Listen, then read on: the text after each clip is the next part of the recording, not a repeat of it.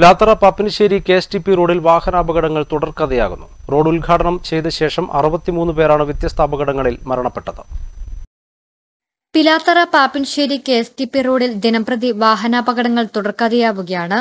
കഴിഞ്ഞ ദിവസം ചെറുകുന്ന പള്ളിച്ചാലിൽ ആംബുലൻസും കാറും കൂട്ടിയിടിച്ച് ഒരാൾ മരിച്ചിരുന്നു. റോഡ് ഉദ്ഘാടനം ചെയ്ത ശേഷം ഇതുവരെയായി അറുപത്തിമൂന്ന് പേരാണ് വ്യത്യസ്ത അപകടങ്ങളിൽ മരണപ്പെട്ടത്. നിരവധി പേർക്ക് അംഗവൈകല്യം സംഭവിക്കുകയും പരിക്കേൽക്കുകയും ചെയ്തിട്ടുണ്ട്. മുന്നൂറ്റി ഇരുപത്തിയെട്ട് കേസുകൾ വിവിധ സ്റ്റേഷനുകളിൽ രജിസ്റ്റർ ചെയ്തു.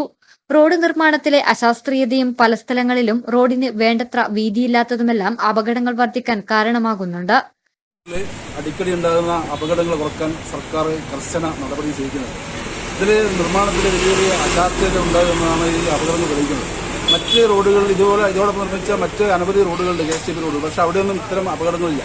ഈ പയ്യ യാത്ര മുതൽ പാപ്പിശ്ശേരി വരെയുള്ള കെ എസ് ടി പി റോഡിൽ നിരന്തരം അപകടം ഇതുവരെ പോലീസ് സ്റ്റേഷന്റെ ആ സർക്കിളിലാണെങ്കിൽ അവിടെ ചില സ്വകാര്യ വ്യക്തികൾക്ക് വേണ്ടിയിട്ട് അവിടെ പല നിർമ്മാണത്തിൽ പല തിരിമറികൾ നടത്തിയെന്നാണ് അതിൽ നമുക്ക് അപകടങ്ങൾ വെളിവാക്കുന്നത്. അവിടെ സ്ഥിരമായിട്ടൊരു കടയിലേക്ക് പാഞ്ഞു കയറുന്ന വാഹനങ്ങൾ പാഞ്ഞു കയറുന്ന അവസ്ഥയുണ്ട്. അവിടെ റോഡിൽ പെട്ടെന്ന് അവിടെ വീതി കുറച്ചതുകൊണ്ടുള്ള പ്രശ്നങ്ങൾ അവിടെയുണ്ട്.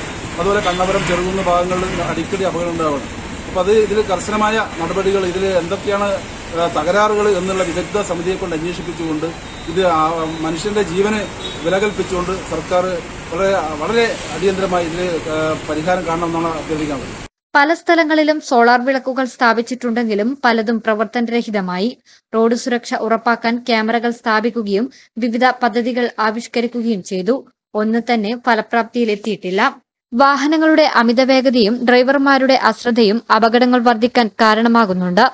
ആവിഷ്കരിച്ച പദ്ധതികൾ നടപ്പാക്കിക്കൊണ്ട് അപകടങ്ങൾ കുറയ്ക്കാൻ ആവശ്യമായ നടപടി സ്വീകരിക്കണമെന്നാണ് ഏവരുടെയും ആവശ്യം. News bureau Pazhayangadi.